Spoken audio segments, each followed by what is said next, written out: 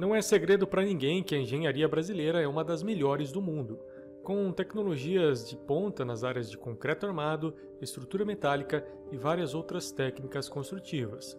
Mas nem tudo são flores.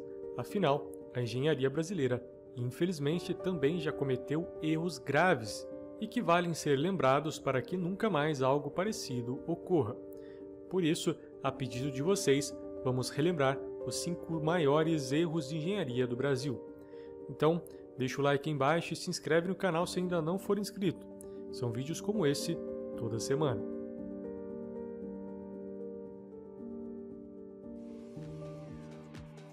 O Brasil é reconhecido mundialmente por sua engenharia, com diversos feitos como a usina hidrelétrica de Itaipu, que foi considerada a maior do planeta por décadas, e a ponte Rio-Niterói, também considerada uma das maiores do mundo, que inclusive já falamos de ambas essas obras aqui no canal. Mas o vídeo de hoje vai tratar de um tema mais triste e obscuro, os erros. Sempre digo aqui no canal que devemos nos lembrar sempre dos grandes feitos, mas muito mais dos fracassos, para que nunca mais sejam repetidos. Essa lista, assim como a do vídeo anterior, vamos mostrar os erros partindo do mesmo princípio, do menor para o maior, tanto em custo como principalmente em número de vítimas.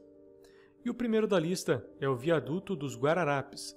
Fazendo parte das obras de mobilidade urbana da cidade de Belo Horizonte, integrava o PAC, Programa de Aceleração do Crescimento, além de estar inclusa dentro do conjunto de obras para a Copa do Mundo de 2014. Iniciada em março de 2011, as obras de alargamento da Avenida Dom Pedro I teve investimento de 173 milhões de reais e tinha o viaduto como um dos principais trechos. As obras foram liberadas para o trânsito em 13 de junho de 2014, mesmo sem estar 100% finalizada. E 20 dias depois, em 3 de julho de 2014, parte do viaduto desaba, esmagando um carro, um micro-ônibus e dois caminhões, tirando a vida de duas pessoas sendo a motorista do micro-ônibus Rania dos Santos, de 24 anos, e o motorista do carro, Charles Frederico, de 25. Outras 23 pessoas saíram feridas.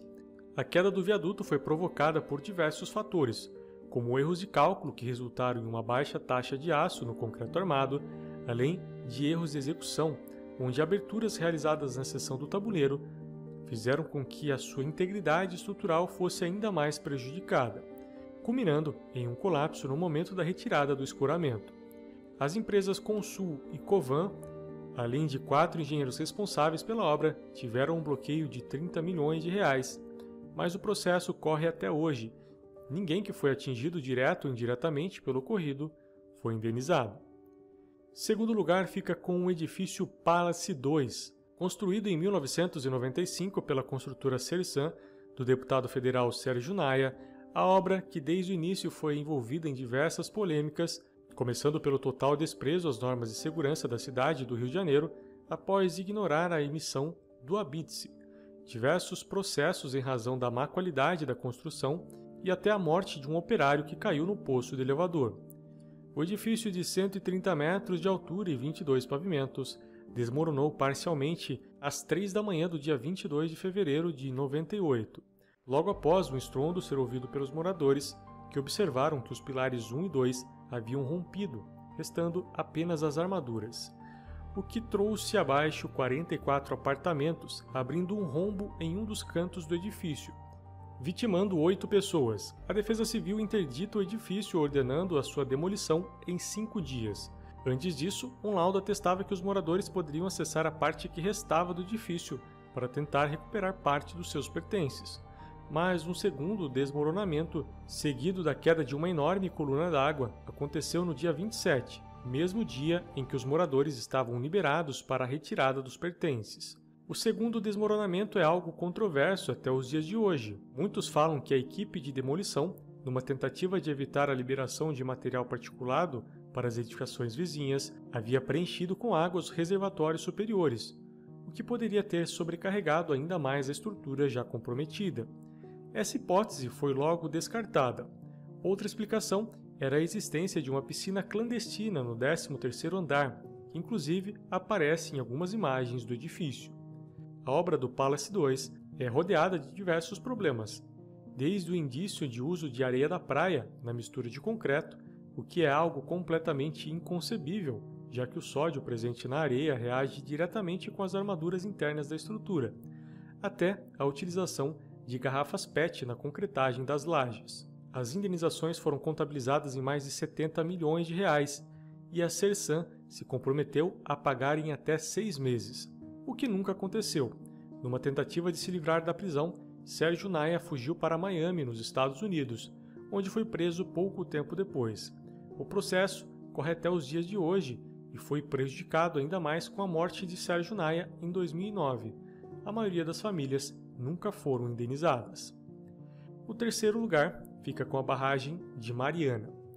Controlada pela Samarco Mineração, era um empreendimento das duas maiores empresas de mineração do planeta, a Vale SA e a anglo-australiana BHP. Localizada no distrito de Santa Rita, Durão, no município de Mariana, em Minas Gerais, é a chamada barragem de rejeitos, que continha 62 milhões de metros cúbicos de lama oriunda do processo de extração do minério de ferro. No dia 5 de novembro de 2015, às 15h30 da tarde, a empresa Samarco recebeu o alerta de vazamento e uma equipe foi direcionada até o local numa tentativa de fazer uma contenção, mas sem sucesso. Às 4h20 da tarde ocorreu o rompimento, que lançou um enorme volume de lama sobre o Vale Santarém, atingindo os subdistritos de Bento Rodrigues e Paracatu de Baixo, além das margens do Rio Doce e litoral do Espírito Santo. O rompimento destruiu mais de 200 casas, desabrigando mais de 600 pessoas e provocando 19 mortes, e é considerado o maior desastre ambiental de mineração do país. Especialistas fizeram estimativas de um mínimo de 100 anos para que os danos causados por esse rompimento possam começar a ser absorvidos pelo ambiente, para que aos poucos se torne como era antes. O próximo da lista é o incêndio do edifício Joelma, o início da sua construção se deu em 1969 pela Joelma SA, importadora e construtora. Com uma estrutura de concreto armado e fechamento em tijolos cerâmicos e grandes janelas de vidro, foi imediatamente alugado pelo Banco Crefsul, localizado no número 225 da Avenida 9 de Julho, em frente à Praça da Bandeira, em São Paulo. Em 1 de fevereiro, às 8h54 da manhã, um curto-circuito em um aparelho de ar-condicionado no 12º andar, deu início a um dos piores e mais trágicos incêndios do país. Sei que muitos devem estar dizendo, tá, mas isso não é necessariamente um erro de engenharia, afinal, incêndios acontecem. Mas é aí que vocês se enganam. Uma das principais atribuições de um engenheiro é a prevenção de riscos à edificação, consequentemente aos seus ocupantes.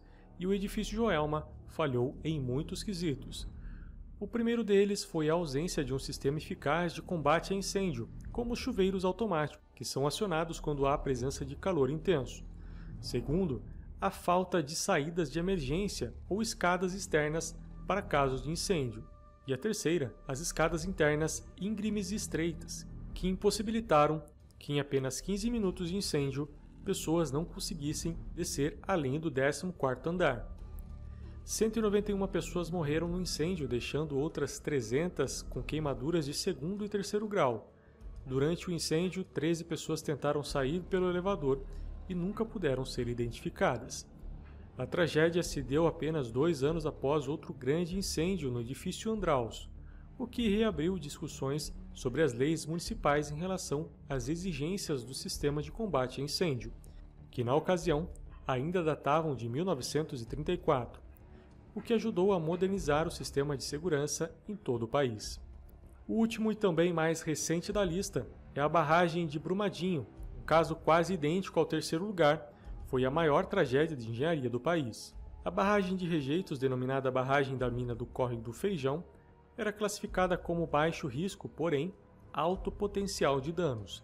Localizada no município de Brumadinho, no estado de Minas Gerais, a barragem do Córrego do Feijão foi construída em 1976 pela Ferteco Mineração, que foi adquirida pela Vale em 2001, e durante anos foi ampliada diversas vezes pelo sistema de alteamento, que é quando a própria lama de rejeito é usada como estrutura, aumentando camada por camada para permitir um volume cada vez maior. O rompimento aconteceu no início da tarde do dia 25 de janeiro de 2019, liberando 14 milhões de toneladas de lama e rejeito de minério de ferro, percorrendo 8 quilômetros, atingindo o município de Brumadinho, nas comunidades Vila Ferteco, Córrego do Feijão e Parque das Cachoeiras. O rompimento é considerado o maior acidente de trabalho da história do país, devido ao número de vítimas que ultrapassa as 270 pessoas, tornando o Brasil o país com o maior número de mortes desse tipo de acidente no mundo. As causas do acidente, segundo relatórios, se deram em razão do fenômeno de liquefação, pela ineficiência do sistema de drenagem da barragem, que fez com que o solo fosse incapaz de resistir aos esforços de cisalhamento, dando origem a fissuras que culminaram no completo colapso da contenção da barragem. A lama de rejeitos contaminou grande parte do território de Brumadinho, e o rio Paraopeba, atingindo quatro estados, além de alcançar o rio São Francisco em 22 de março de 2019, tornando Brumadinho o maior desastre em número de vidas perdidas e segundo maior desastre ambiental do Brasil, ficando atrás somente de Mariana. Somando todos os danos causados pelo rompimento de Brumadinho, ficou em primeiro lugar na nossa lista. E esses foram os maiores desastres da engenharia do Brasil, Conhecia todos eles? Acha que ficou algum de fora? Deixe aí nos comentários. O vídeo de hoje é isso. Se você achou essas informações relevantes de alguma forma, deixa o like e se inscreve no canal para não perder os próximos vídeos. Valeu e até lá!